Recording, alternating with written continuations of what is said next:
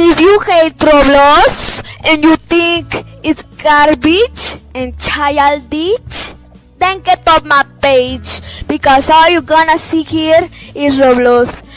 Goodbye!